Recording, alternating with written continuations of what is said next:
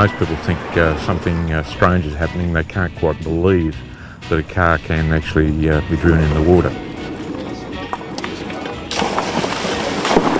It's an Amphicar 770.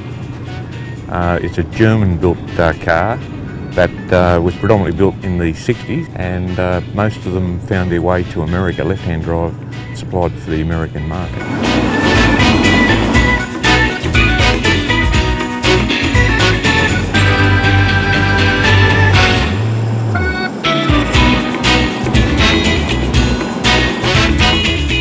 About three uh, cars in Australia and the three of us know each other quite well and we're going to take them to uh, Europe in 2021 and do the River Rhine.